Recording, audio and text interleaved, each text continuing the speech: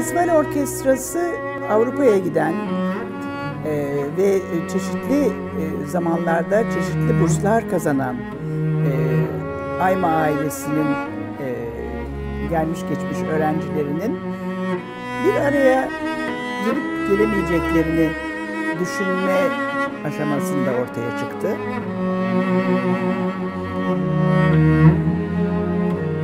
Bir takım araştırmalardan sonra anladık ki böyle bir yaylı çalgılar orkestrası yani bir festival orkestrası kurmaya kalkışırsak e, öğrencilerimiz için çok güzel bir proje olacak.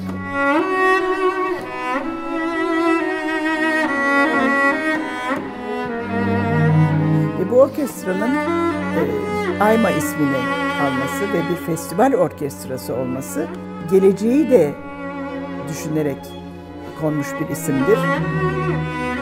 Nitekim herhalde e, daha ileriki yıllarda Ayma Festival Orkestrası'nın sadece Ayvalık'ta kalmayacağını ve önce yurt içinde sonra da belki yurt dışında tanınacağını ümit ediyoruz. Esas planımız bu ve ümidimiz bu.